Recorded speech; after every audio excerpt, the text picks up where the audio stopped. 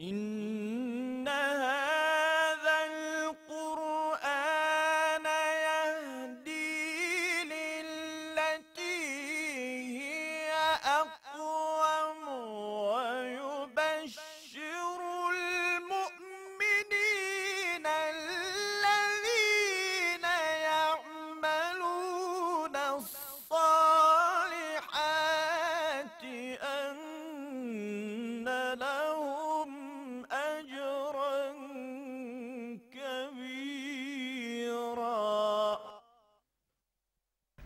أعوذ بالله من الشيطان الرجيم.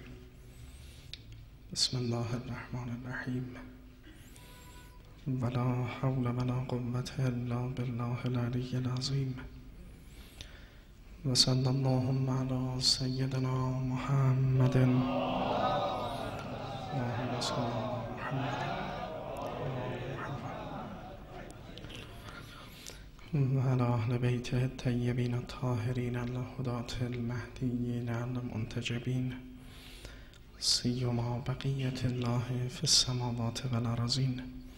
أعوذ بالله من الشيطان الرجيم.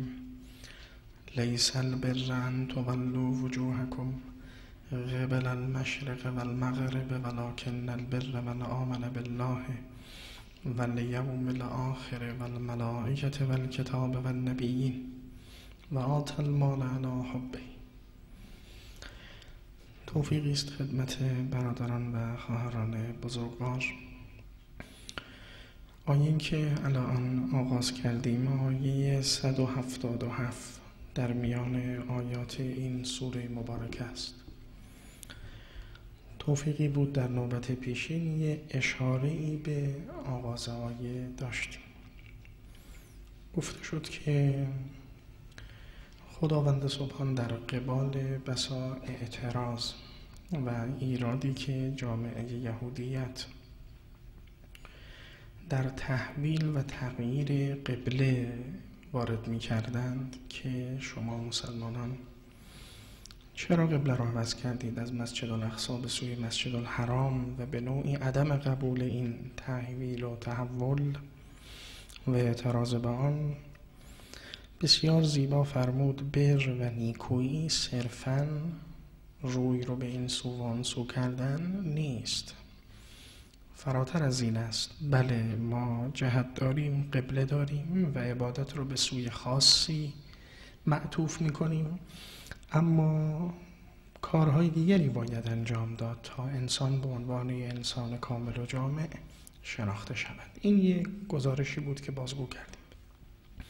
به همین خاطر کلمه بر رو هم توضیح دادیم که خود کلمه بر و مشتقات این کلمه هر کجا به کار برده می شود اون پهناوری و گستردگی در اون وجود دارد. لذا احسان فراگیر رو و گسترده رو اون احسانی که در همه جهات باشه به تمام انها و انواع درونی برونی مادی معنوی در تمام زمینه ها باشد چنین احسانی رو بر می‌گویند. این گستردگی در این کلمه وجود دارد. خب حالا از همینجا شروع می‌کنیم در ادامه بحث که لیس البر. بر یعنی اون احسان و محسن بودن فراگیر و جامع در مورد شخصیت یک انسان این نیست که ان تولوا وجوهکم قبل المشرق و المغرب. این که صرفا فقط شما بیستید و روی رو به سوی مشرق و مغربی بکنید. فقط این کار تمام باشد. نه این نیست.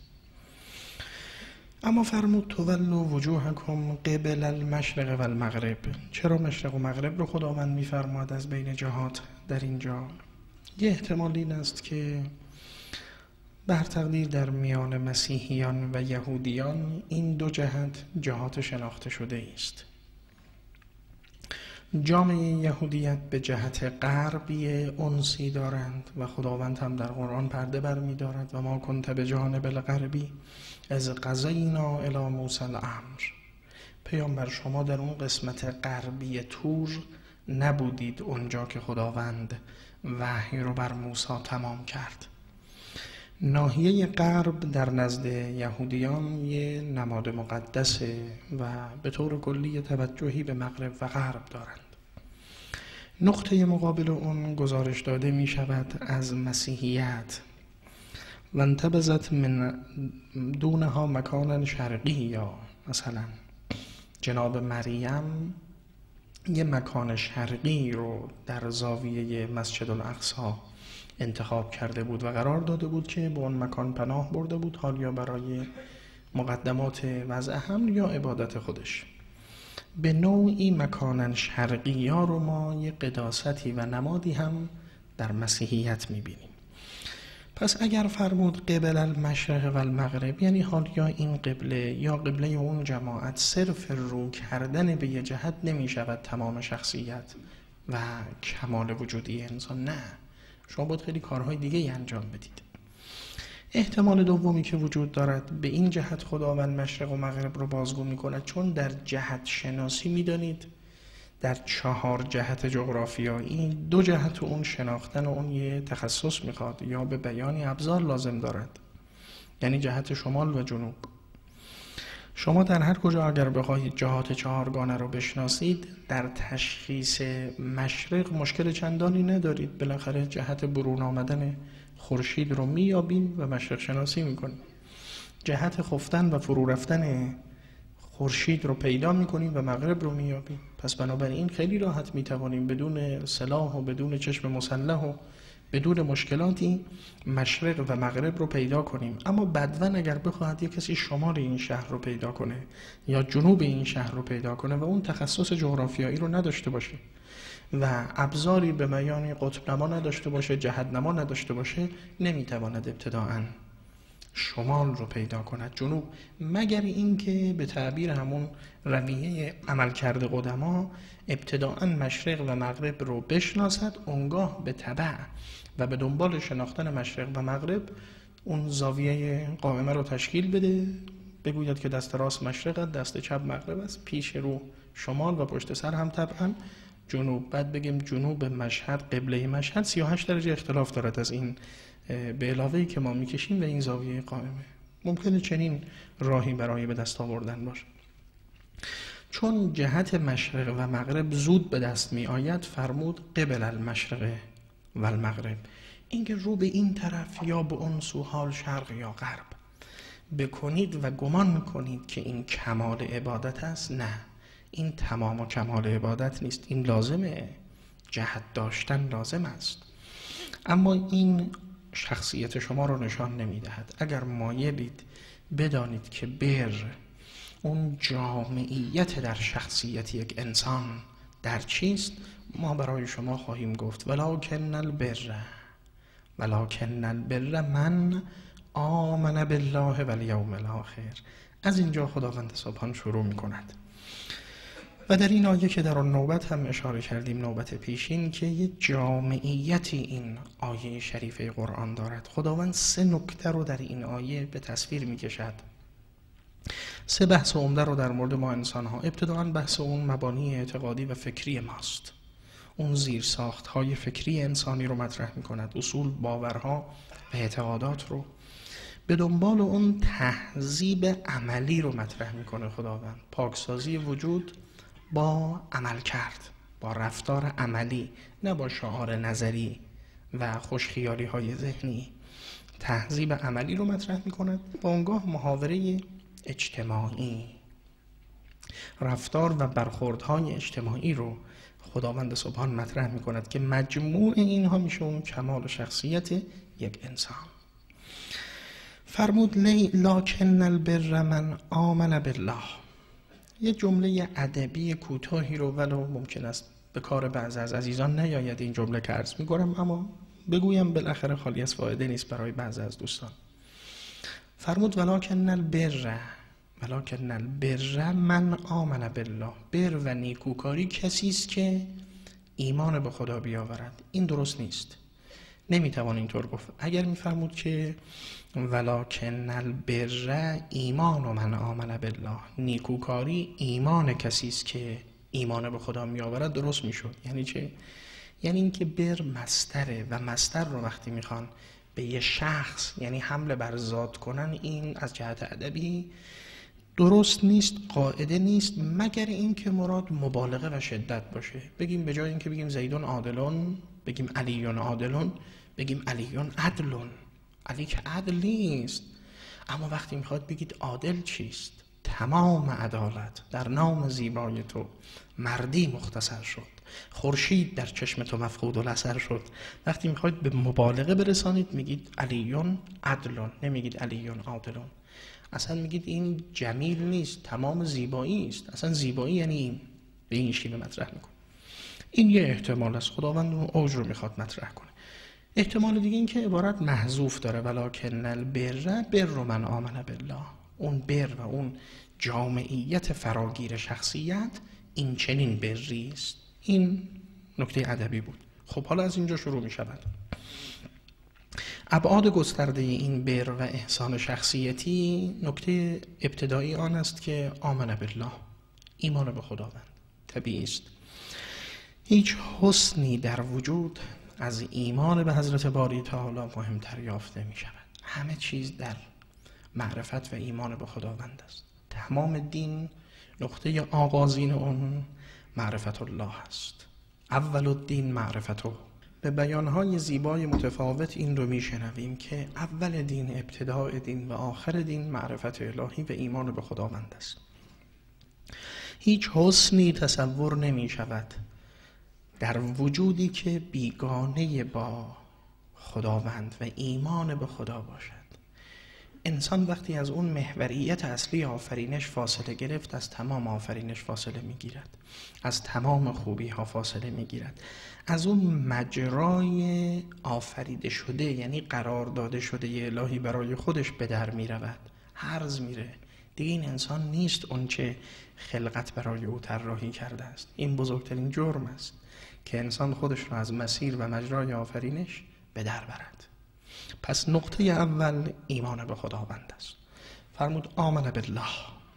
هر چه بعد از این بگیم همه در دل ایمان به خدا وجود دارد. نقطه اولی.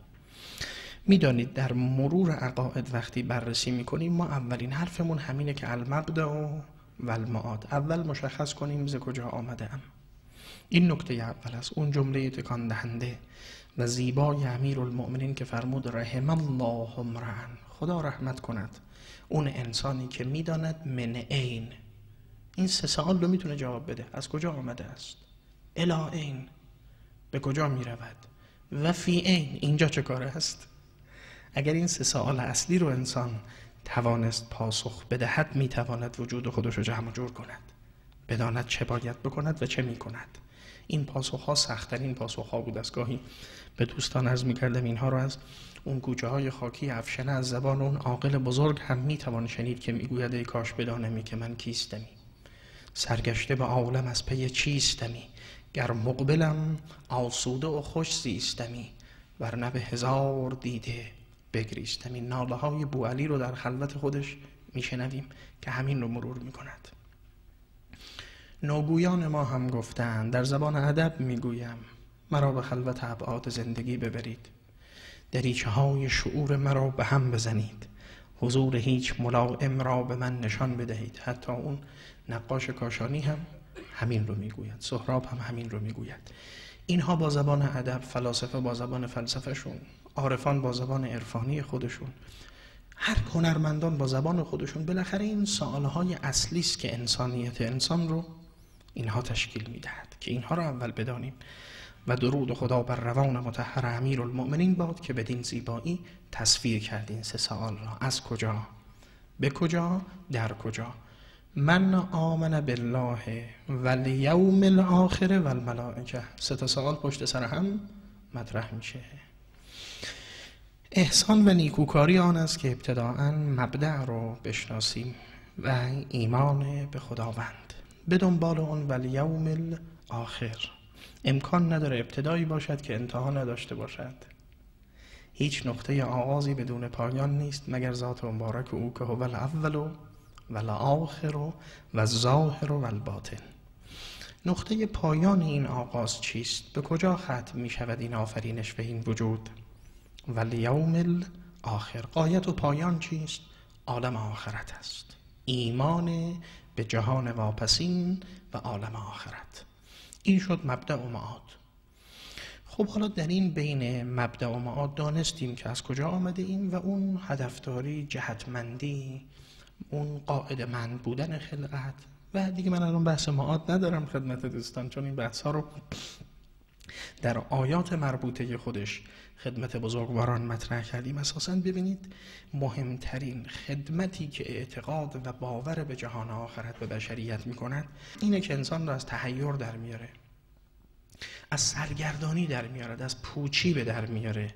یعنی انسان وقتی می‌داند به جهانی می‌رود به عالمی می‌رود به سوی حرکت می‌کند بسیار گسترده تر بسیار عمیقتر از این دنیایی که الان داره می‌بینه و سطحی از وجود رو به دست میآورد و تجربه می‌کند که قابل مقایسه با این وجود و این هستی نیست ابدا. یعنی همان تشبیهی که بزرگان دین جهان امروز ما و زندگی ما رو به زندگی جنینی تشبیه کردن. فرمودن بدونید الان که شما در دنیا هستید چه خاطراتی از رحم مادر دارید؟ و این زندگیتون رو با اون زندگی چگونه می‌توانید قیاس کنید؟ هنگامی که به جهان بعدی می‌روید همین تصور رو این گونه دارید. یعنی در اون عالم که قرار می‌گیرید این دنیا برای شما به مانند ایام جنین بودن و رحم مادر است. بعد می‌فهمید که این دنیا چقدر محدود چقدر کوچک. بعد اونجا وقتی تغذیه شما عوض شد از دوران جنینی و دیگه بند ناف رو رها کردید دیگه از جفت تغذیه نکردید خون رو فرو گذاردید اونگاه در این دنیا خوردید این گوناگون و الوان نعمت الهی رو. هنگامی که از اینها جدا میشید بعد می‌خورید نعمت هایی که بعد خوردنی های اونجا با اینجا قابل مقایسه نیست مگر همون رابطه اون چه می‌خورید و همان خون مادر. همان است که از فتام خون قضای شیر شد. از فتام شیر لغمه گیر شد. از فتام لغمه لغمانی شوید طالب معشوق پنهانی شوید. این رابطه زیبا این که مولوی هم بازگو می کند خود این انسان را از تحیر و سرگردانی نشان نجات می دهد به اهداف انسان جهت میده. وقتی انسان می‌داند به کجا این تلاش ها جمع میشه سرجمع میشه. به یک سو معطوف می شود وقتی شما از این دروازه شهر بیرون آمدید و نمی‌دانید به کجا می روید هیچ توانتون معلوم نیست. ممکنه اینجا ممکنه اونجا. اما وقتی جهتدار شد و هدفمند شد مقصد شما آگاهانه قدم برمیدارید. این کیلومتر مسیر رو می‌بینید. 150 تا 100 تا 50 تا. امید دارید که دارید به مقصد می‌رسید. چون هدف دارید. این نکته کاملا در مورد عالم قیامت و معاد وجود داره. این ایمان به یوم الاخر. و گذشته از اون انسان رو امیدوار به تلاش هاش می‌کند. سعی انسان رو در کف انسان مینهد. این باوری که انسان گمان کند هر کاری کرد هرز شد هدر شد. هیچ نتیجه عاید من نمیشه. کدام انسان حسابگر عاقل است که در دنیا این گونه زندگی رو بپذیرد؟ که شما هر تلاشی می‌کنید این نتیجهش به شما بر نگردد اینو کی قبول می‌کند؟ شما از فردا حاضرید تو زندگی کنید. هیچ کی قبول نمی‌کند. ایمان به آخرت این باور رو به انسان می‌دهد که قدم به قدم مسقال ذره هر حرکتی و هر تحرکی که آدمیان دارند تمام اون باستاب اون و نتیجه اون و عائد اون و خود اون به انسان برمیگردد. این خیلی انسان رو محکم می‌کنه. و در این حال حسابگری رو هم حاکم می‌کند در وجود. پس اگر این چنین است بسم الله. دقت ها و ظرافت ها ذره ها رو باید برداشت و اعمال رو نگاه کرد. خب اینها خیلی مهمه و صدها مثل این مباحثی که در ایمان به آخرت وجود دارد. فرمود ولی یوم الاخر سوم و الملائکت و الکتاب و نبیین خب ایمان به ابتدا و انتها مشخص شد. حالا ماند اون بین. ما این بین چه باید بکنیم؟ با کجا باید مرتبط باشیم؟ چه چیزی رو باید الگوی کار و زندگی قرار بدیم؟ اصول تعلیم و تربیت ما از کجا می آید؟ چه کاری این میدان هستیم؟ فرمود و ایمان به ملائکه. استهزار دارید از ارکان اصلی دین ایمان به غیب است. اصلا دین بدون مفهوم غیب معنا ندارد. بدون مفهوم غیب. یعنی فرض دین اصلا مبتنی بر این است که ما دو جهان داریم دو عالم داریم. عالم شهود و عالم غیب. عالم شهود یعنی عالم ماده عالمی که تجربه می‌کنید لمس می‌کنید حس می‌کنید لابراتواری می‌کنید می‌بینید تجزیه می‌کنید. این عالم شهود عالم حضور است عالم شهادت است که حس می‌شود. اما ما جهانی داریم ماورای این وجود مساویه با مشهود نیست. بسیار موجودات هم که مشهود نیستن محضور نیست. اینا برای ما حاضر نیستن برای ما انسان ها اینها در ماورای این وجودن. قبل از این جهان جهان هاست. بعد از این جهان جهان هاست. عوالمی است در عرض این عالم. عوالمی است در طول این عالم. عوالمی است برتر از این پایینتر از این. و بالآخرت هم یوقنون رو که خداوند می‌فهمد این یکی از اون گوشه های یؤمنون بالغیب است. ایمان به غیب یکی از ارکان اصلی باور ایمانی است و اعتقادی است. اصلا وجود خود خداوند سبحان بارسترین و جامعترین مصداق غیب است. غیب الغیب مطلق به تعبیر بنده میشه خود ذات باری تعالی. اون غیبی که اگر بعضی از غیب های وقتی به شهود می‌رسند این غیب هیچگاه به شهود نمی‌رسد. میشه غیب الغیب مطلق و اون داغ بزرگ این غیب گهگاه انسان حس می‌کند. خب این از اجزا اصلی ایمان است. از مصادیق غیب خود ارتباط با عالم غیب است. راه ارتباط با عالم غیب از کجا می آید؟ از طریق وحی است. هیچ راه دیگری نیست.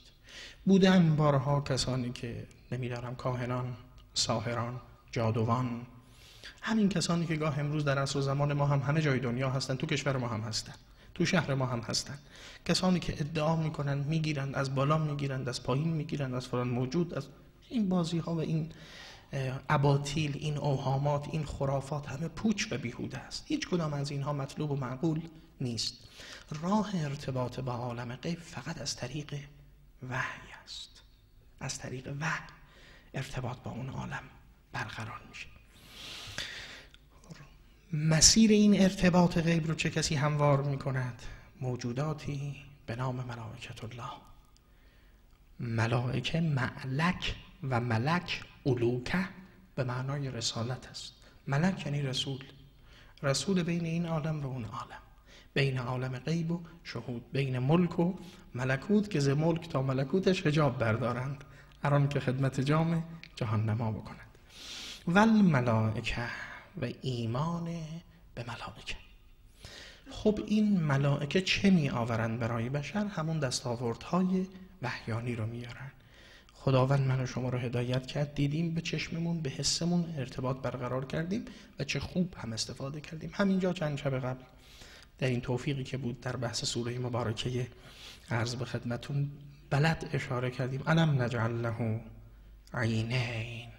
خداوند این قدرت و این توانمندی چشم رو به من و شما داد که صدها هزاران تصویر رو آنن بتونیم میکس کنیم برداریم برداشت کنیم و قابل استفاده ضبط کنیم. هزار دوربین رو میارد فران فیلم بردار 1500 دوربین رو می‌گذارد یه صحنه رو می‌خواد عالی بردارد. دیگه دارن این کارا رو اخیرا انجام میدن. تمام این صحنه رو شما با یه برداشت چشمتون برداشت می‌کنید. دو چشم یک کار انجام میدن ولی که دو دو دستگاه مختلفن اما یه انتباق. و الا میشه احول. و الا میشه لوچ. دوبین خیشتن را بزرگ پنداری راست گویند یک دوبین لوچ. الا انسان میشه دوبین اون نکات مصنویه وقتی می‌گفتم. گفت برو اون شیشه روغنه بده این عطاره به شاگردش. گفت جناب استاد کدومی که دو تا شیشه هست اونجا؟ گفت بابا یکیه. گفت نه دو تاست. گفت خب برو یک شیشه بشکن اون کیشه بیار. هم چوب بلند کرد زد. بعد گفت استاد شیشه ای نیست. گفت خب من که گفتم به تو تو داری دو تا می‌بینی یکی رو. این میشه. این چشم وقتی سالم است دو رو یک می‌بیند. به معنای واقعی صد رو یک می‌بیند. یعنی دقیقا این دو چشم یه برداشت. این بیت رو اشاره کردم بالاخره بعد کار بونجا می‌کشد که انسان میگد بیگانگی نگر که من و یار چون دو چشم.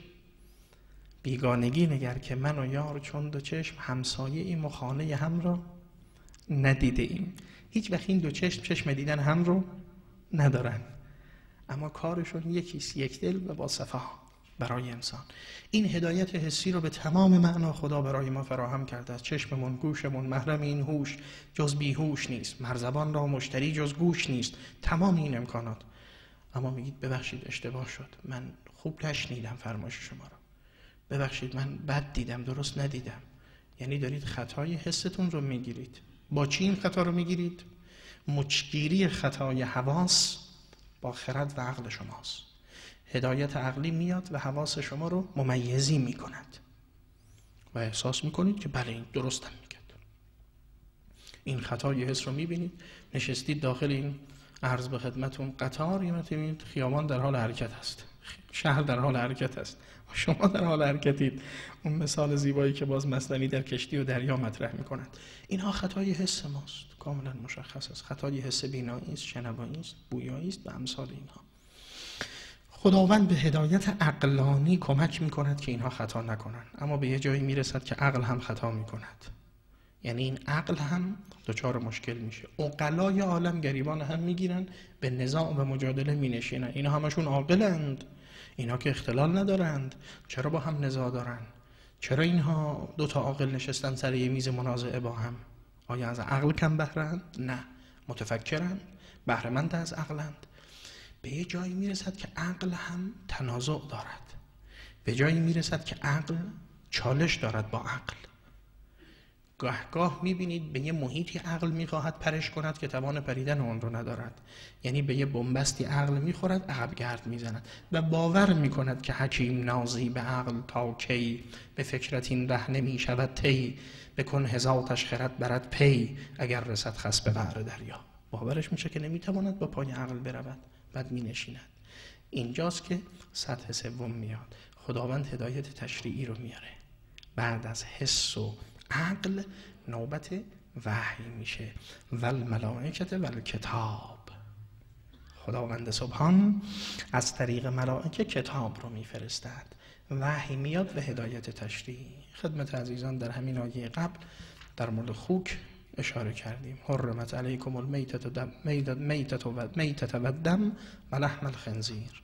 گفتم در مورد خوک خدمت عزیزان اون موارد رو. خب حالا دانش امروز بشر می آید و یه اصولی رو کشف می کند بررسی می کند تجزیه می کنه وجود این حیوان رو بعد این باورها رو تقدیم می کند. عاقلان هم اجتناب می کنند. اونهایی که می‌فهمن اجتناب می کنند. این رو وحی میگه. وحی میاد قبل از اینکه شما بخواهید به عقلتون برسید به یه چیزی به وحی پیش پای شما می‌گذارد و این انهایت عظیم خداوند بر بشریت است. زندگی که منطبق بر وحی میشه از حیات تجربی و زندگی اومانیستی خیلی جلوتره. اگر قدر این رو بداند و متوجه باشد سالها جلوتر است فرسنگها جلوتر است این شیوه حیات و این تفکر. اگر مبتنی باشه انسان فکرش و زندگیش بر وحی. همیشه جلوتر از تمدن مادی بشری خواهد بود. فرمود و الملائکت و کتاب این کتاب. خب این ملائکه آورنده اند. چه می آورند؟ کتاب. برای که می آورند؟ و نبیین گیرندگان مستقیم این خطاب انبیا اند پیامبرانند از اول تا آخر اونها خاتم انبیا محمد مصطفی.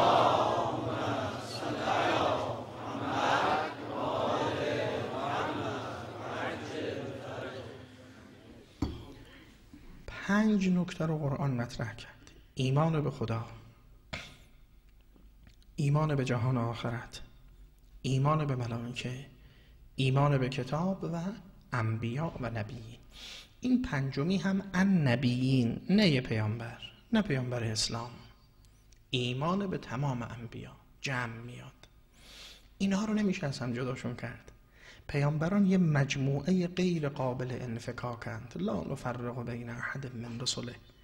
اینا یه مجموعه ایمان به پیامبر اسلام همراه با ایمان به موسی کلیم الله است همراه با ایمان به عیسی روح الله است نوح عرض به خدمتون شیخ الانبیاست.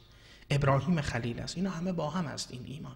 چون هیچ تفاوتی بین وجود حقیقی این انبیا نیست که هر لحظه به شکلی متعیار درآید. اینا هر کدامشون در هر زمان اون دست عنایت خداوندن که در یه جامعه و قامتی به در می آید و برای بشریت پیام خداوندی رو عرضه می کنند لذا النبیین همشون نمیشه تا یه جای اومد بقیه رو ادامه نداد. تمام انبیا با هم.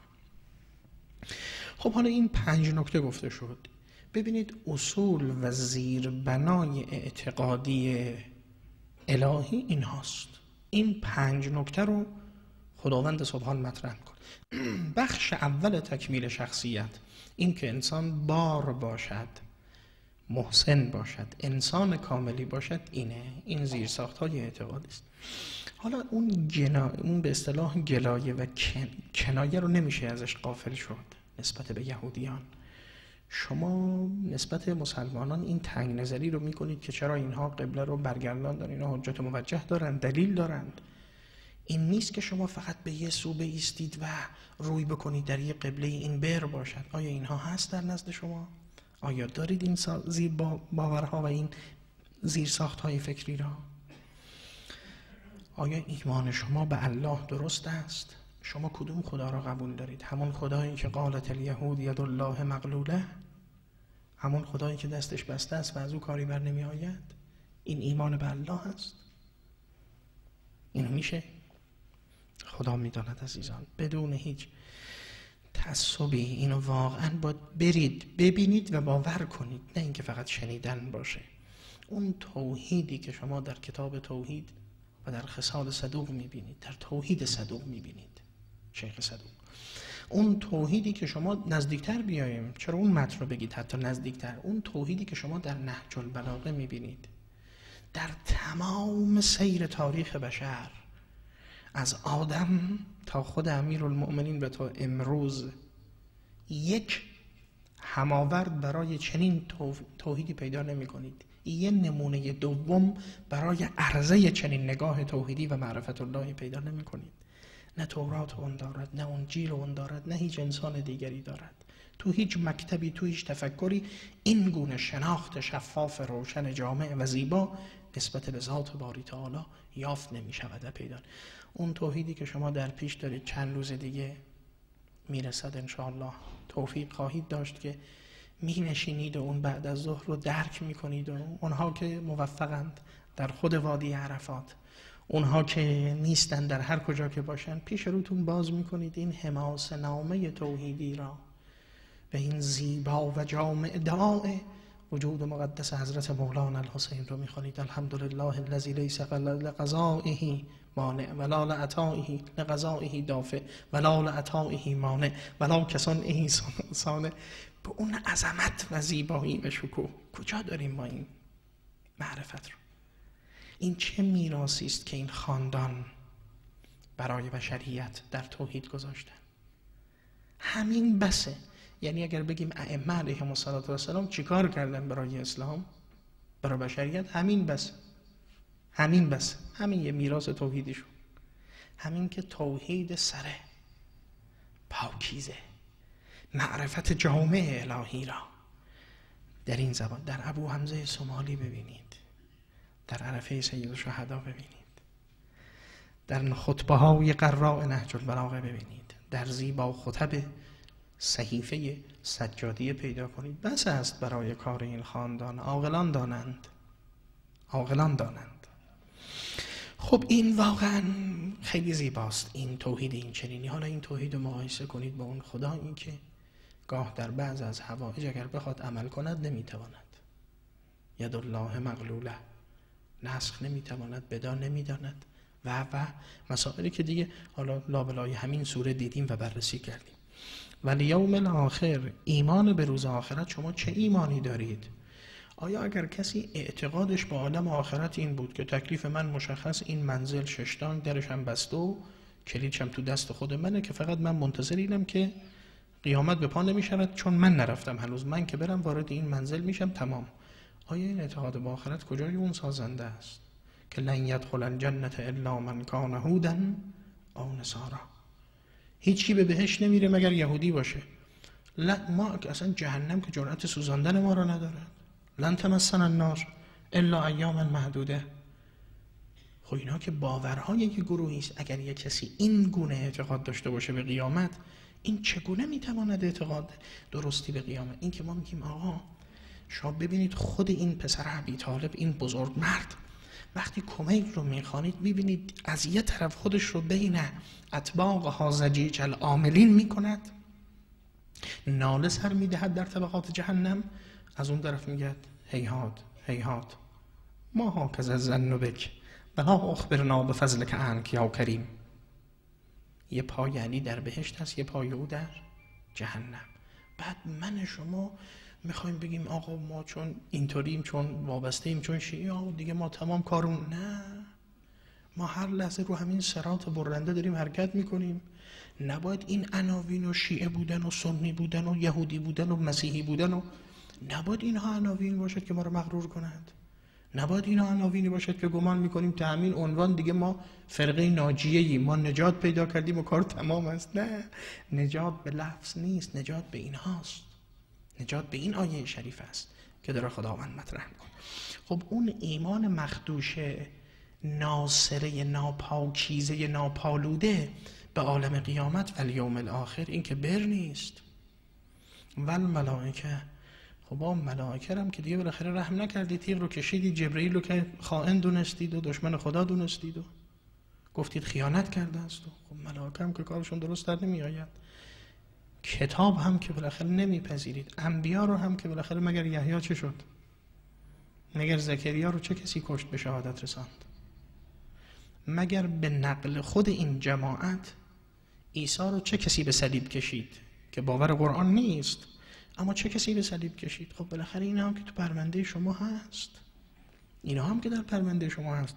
شما در همین اصول برید تجدید نظر کنید. برید باورتون رو به مبدع به منتها به اون عالم ملکوت غیب. اینها رو برید درست بکنید. بعد ادعا کنید که به این طرف میستیم به اون طرف میستیم و تظاهر به دینداری بکنید. خب تا اینجا همان گونه که عرض کردیم یک سوم اول. یعنی بخش اول که اعتقاد و باور باشه. حالا این باور و عقیده به خدا و جهان آخرت و اون عالم غیب با اجزای سگانش این باید به کجا منتهی بشه؟ این باورها وقتی ارزش دارد که تبدیل به عمل میشه. باوری که قابل عمل و اجرا نباشد ارزش ندارد. عقیده ای که عینیت پیدا نکند حلاوت ندارد. باید این باور و عقیده شما اولا قابل اجرا باشه قابل عینیت باشه و باید دیده شود. حالا و آت المال علا حبه ذوی القربا و الیتاما یه مقداری ساختار این آیه با اونی که در ذهن ماست فرق داره. یعنی خداوند بعد از ایمان نمیاد سراغ عبادات. از نماز بگوید از حج بگوید از رمضان بگو نه اینا رو بعد اشاره می‌کنه. اول یه اموری رو و یه اعمالی رو مطرح می‌کنه که همونطور که ارز کردم اینا با تهذیب وجود انسان و پاکسازی وجود سر و کار دارد و مرتبط است. خیلی زیباست.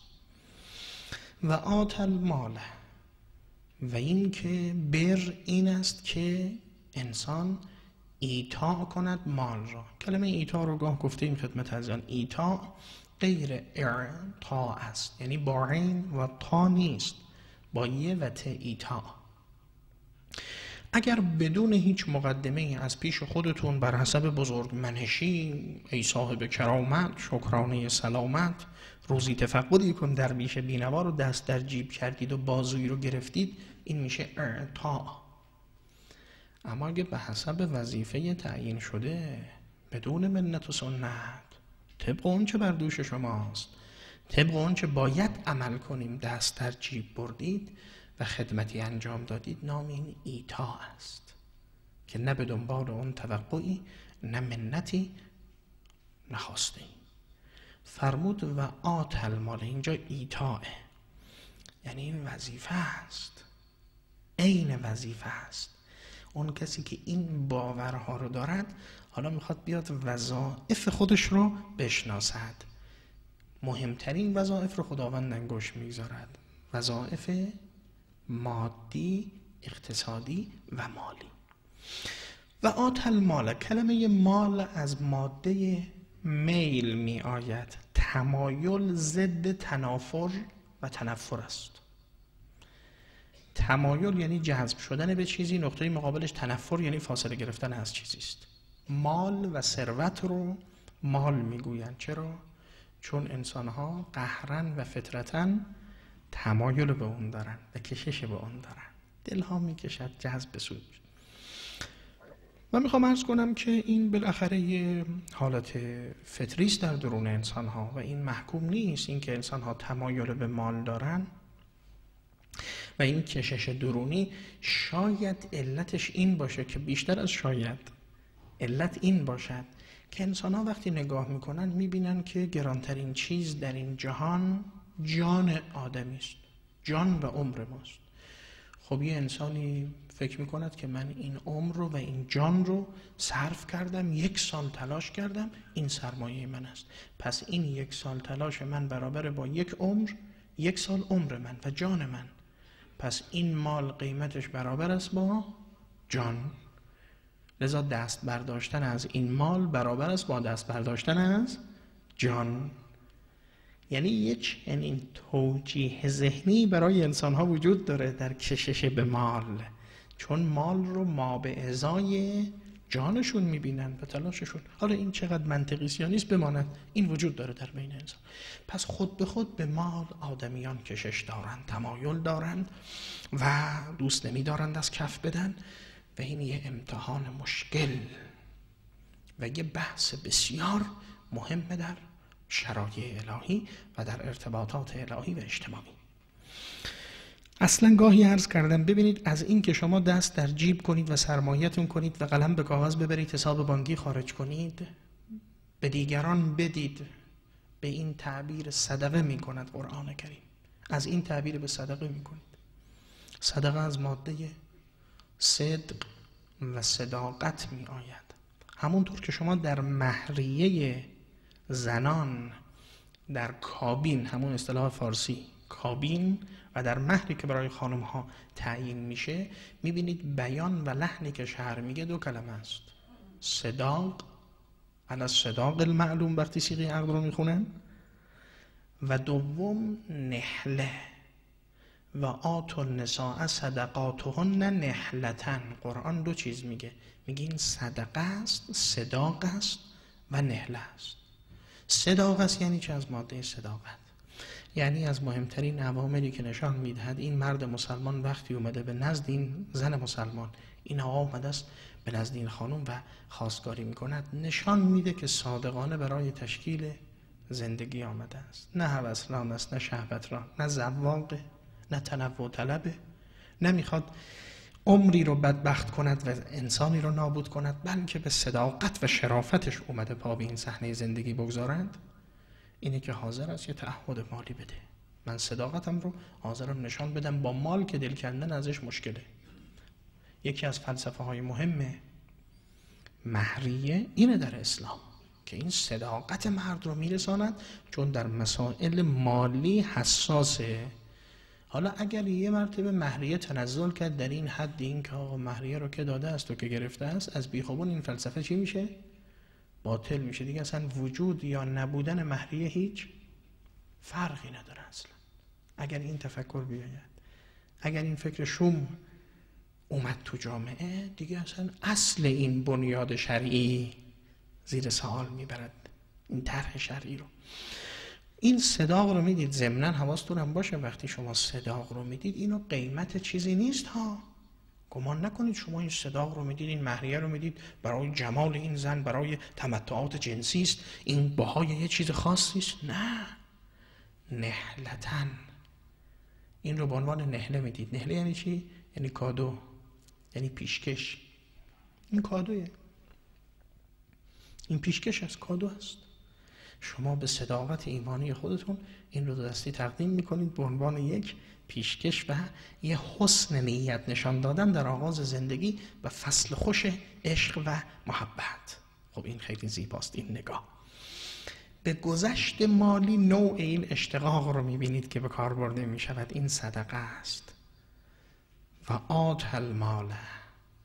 باید این انسان تمرین کند. این انسان بار و محسن که بتواند آت المال ایتاء مال کند. یعنی از همون مال دست بشوید و این رو بدهد به دیگران. حالا به کی الان می‌خوانیم؟ و آت المال. علا علا حبهی این مال رو بدهد اونم ها بدون هیچ مزد و توقع. علا حبهی بر حب او. یعنی چی بر حب او؟ سه احتمال اینجا وجود داره. این حبهی این زمیر دیگه. زمیر باید به جایی برگردد. بر او. او یعنی کی؟ یعنی چی؟ یه معنای اولی که دوست میداریم این معنا باشه که این معنا هم صادق هر سه معنا صادق است؟ علا حبهی به الله برمیگردد. یعنی علا حب الله. خدمات مالی کردن بدون انگیزه الهی؟ نه. یعنی میگن من من اصلا انسان دوستم. به خدا خدا یعنی چه؟ من اصلا دوست دارم یه کسی رو چیزی بدم بهش. خداوند این کار شما رو تحویل نمی‌گیرد اگر کسی این کار این چون به خدا کارین شما به خدا دادید که از خدا می‌گیرید یا توقع می‌کنید. خدمت به خلق اگر پشتوانه اون رضای خداوند و کسب رضای الهی نباشد ارزش معنوی نداره. این ارزش معنوی نداره. وقتی که گره می‌خورد با کسب رضای الهی این اصلا خودش از هزار نماز شب هم بالاتر میشه از حج خانه خدا هم گاه بالا این دیگه میشه حج دل اون میشه حج گل به تعبیر اون بزرگ. چنین حالتی رو پیدا می‌کند. پس این باید این ایتا و گذشته مالی همراه با چی باشه؟ همراه با توجه به حب خداوند. و جذبه الهی باشد. علا حبهی این علا رو بعضی از مفسرین به معنای معم می‌دانن حالا به معنای معم نباشه یعنی همراه حب خدا نه. علا حب یعنی با اون اشراف به حب خداوند. خدایا من اگر کاری می‌کنم برای رضای توست امانتیش در کف من دادی این امانت رو به اونجا که بگویی میرسانم. من امانت داری هستم. امین انشاءالله. این که خداوند در قرآن بدید به اینها من مال الله الذی آتاکم. از اون مال خدا که دست شماست از همون که دادیم بهتون همون دیروز دادیم بهتون. حالا امروز بدید به فلانی. این لحن قرآن است. از همانی که دادیم آنو بدید. و انفقوا مما جعلکم مستخلفین فیه. انفاق کنید از همونایی که ما به شما دادیم. حالا شما بدید. باز ما هستیم. اگر دیروز دادیم فردا هم خواهیم داد. این منطق قرآن. علا حبه پس حب الله. به حب خداوند. معنای دوم. و آت المال علا حبهی زمیر برمیگردد به خود مال. علا حب المال. یعنی و حال که دوست دارید بدید. و حال که دلبستگی دارید بدید. مثال زدم در اون آمد کلمه بر رو می‌خواستم بگم گفتم گاه شما انفاق می‌کنید می‌دید. از یه چیزی یه چیزی تو خونه یک سال دارن خانم هی نق می‌زنن. او این چیه دست پای ما رو گرفته؟ این نمیدارم فلان. این یه کاری بکنید. بعد یه مرتبه بزن تو مثلا فلان خیریه. آب بدیم هم من فلان خیریه ببرن. بعد که این خانم میگن الحمد خدا پدر تو بیامرزه که خانه رو خالی کردی راحت کردی از این قرقازی. بعدم شما میگید الحمدلله ما کمک کردیم به ایتام فلان خیریه. خداوند قبول کنه تقبل الله. این نمیشه علا حبهی این علا رفع زحمتیه این باید که زحمت کم بشه. این نمیشه علا حبه. ایتاء مال علا حبه با حب و وابستگی به اون چیزی که ایتا می شود دلبستگی علاقه که لن تنال البر حتی تنفقو مما تحبون. اینم دلیلش میشه. نمیچشید این بر رو مگر از اون تحبون بدید. از اون محبوب ها بدید. از اون چیزهایی که داشتن. احتمال سومی هم داره که اینم جالب است. و آت المال علا حبهی ممکنه این زمیر حبهی به ایتاء خود این فعل آتا برگرده. آت المال خیلی زیباست. این ننوشتن مفسرین ها اما این خیلی احتمال درست هم است. کسی نمی‌تونه بگه غلطه. و آت المال علا حبهی یعنی علا حب ایتا یعنی بدید اما نه از سره. گاهی کاری رو انجام می‌دید. هزار جور نق می‌زنه تو انسان تو دلش همینطور که داره قلم می‌نویسه چک می‌نویسه اصلا دستش میلرزه. لغوه ندارم اصلا الان میلرزه دیگه. دست میلرزه. وقتی می‌خواد بده اصلا میگه خدای نمی‌شد. ما جان می‌دادیم بهتر از این بود که این پول رو بدیم مثلا با یک کرهی با یک ناراحتی با یک اصلا زور که میاد خانه خانه میگن چرا؟ میگه رفتم وجوهات می‌دادم. اصلا عصبی غذا رو چپه می‌کنه. که خاطر مثلا این نه نه. همان به که چنین چیزی نباشد. و آت المال علا حبهی ایتا مال علا حب ایتا یعنی با عشق. یعنی تشنه این اصلا. من به توی محترم عاشقترم. اصلا این اشتیاق این رو دارد که خدایا این واقعا الحمدلله الحمدلله. صدها مرتبه الحمدلله که به لطف خداوند در جامعه ما بسیارند این گونه افراد نه اینکه نباشن. که اینها به شوق به عشق اشک میریزن و افتخار می‌کنن که بتونن خدمتی انجام بدن برای دین خدا برای بندگان خدا. مشتاقند با شور و با عشق به این کار این کار رو انجام میدن. این میشه مستاق آیه شریفه. و آتل مال علا حبهی بر حب ایتا. پس سه احتمال داره حب الله حب مال حب خود پرداختن و ایتا. و آتل حالا به چه کسی باید داد این رو؟ این مال رو به چه کسانی باید داد؟ میشه همه جا این رو مصرف کرد هر جا که رضای خداست. اما طبعا یه اولویت هایی وجود داره. یه اولویت های چهار پنج گانه ای رو خداوند مطرح می‌کنه که دیگه فرصت دست نداد انشاءالله نوبت آینده و بحث بعدی خدمت عزیزان بازگو خواهیم کرد. خداوند سبحان دلهامون به نورانیت قرآن بیش از بیش منور و مزین بگرداند. دست ما از دامن قرآن و اطرت کوتاه مگرداند. توفیق فهم و درک بیشتر آیاتش و عمل به مزامین نورانی قرآن رو نصیب همه ما بفرماید صلوات نت بفرمایید.